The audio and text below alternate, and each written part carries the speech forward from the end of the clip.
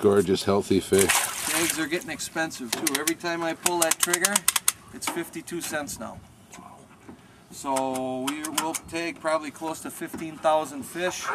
You're looking at 7,500 bucks worth of tags swimming around. So, I, you know, it's really important for anglers to turn those in, uh, help us manage the fishery, at, um, and turn them in right away after you catch them within within a week. Um, don't call me in fall when you're putting your boat away and you find the, the you look in the cup holder uh, and you got a whole pile of them there. Um, I still want to know that, but it, they're really the value of the tag is soon after you catch it. And all we really need to know is whether you kept the fish. If you let it go, leave the tag in it and just write the number down and tell us when you caught it and where you caught it. And be fairly specific, you know, just tell us if it's on the river, you caught it at uh, Pickle Belly, Pickle Belly Bend or something like that, Pickle Barrel Bend, um, or, uh, you know, in uh, Butte des Morts off of Sunset Point or something like that. So I, that just helps us manage this and for exploitation on the system, gives us a handle on how many fish are actually being taken out. So.